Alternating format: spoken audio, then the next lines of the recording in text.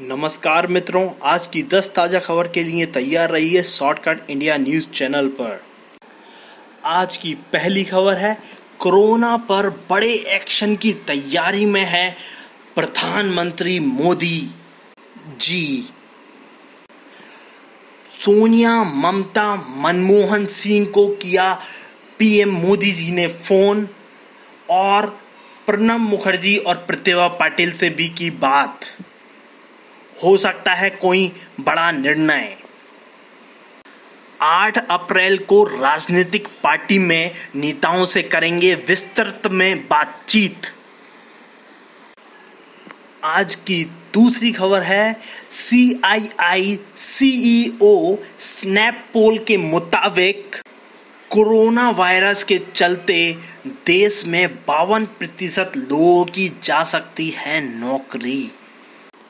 आज की तीसरी खबर है, यूपी में तबलीगी जमात के 1500 लोग चिन्हित, जिसमें से 138 लोगों को कोरोना वायरस संक्रमित पाया गया। आज की चौथी खबर है, अनुभव सिन्हा का निजामुद्दीन मरकज के मामले पर आया रिएक्शन ट्वीट कर बोले तबलीग ने हिंदुस्तान के मुसलमान का जितना नुकसान किया है, वो ना के, ना काबिल तारीफ़ है। जहालत की इंतहा। अब भी सामने आके अस्पतालों में प्रशासन के सामने मिलकर करें सहयोग, वरना इससे ज़्यादा नुकसान और कोई नहीं कर सकता।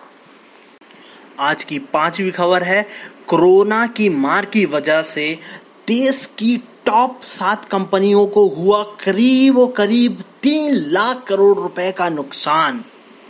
TCS H D F C Kotak को हुआ है भारी नुकसान। कोरोना के चलते बच्चों और स्टूडेंट के हो सकते हैं मज़े। कोरोना के चलते ऑनलाइन शिक्षा से घर बैठे ही लीजिए शिक्षा और ऑनलाइन ही परीक्षा दे दीजिए।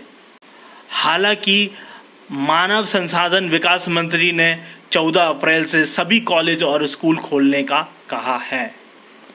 आज की सती, सातवीं ताज़ा खबर है, कोरोना वायरस के वैक्सीन बनाने के लिए फंडिंग करेंगे माइक्रोसॉफ्ट के संस्थापक बिल गेट्स। हालाँकि सभी जानते हैं, Bill Gates new world order की हमेशा से हिमायत करते रहे हैं, जो एक इल्यूमिनाटी एजेंडा है। आज की आठवीं खबर है, कोरोना से ने तोड़ी अमेरिका की कमर। डोनाल्ड ट्रंप ने पीएम नरेंद्र मोदी से मांगी मदद। मांग रहे हैं, भारत से दवाइयों की कुछ खेप। ब्रिटेन के प्रधानमंत्री बोरिस जॉनसन ने जिस महिला को किया था प्रेग्नेंट उस महिला में भी देखे जा रहे हैं कोरोना के लक्षण, इसलिए उनको भी किया गया है आइसोलेशन में। आज की दसवीं खबर है, करोड़ों रुपए दान करने के बाद शाहरुख खान ने फैंस को लिखकर लेटर कहा, मैंने तो कर दी है तैयारी, अब आपकी है बारी। धन्यवाद, नमस्कारा, भारत माता की जय।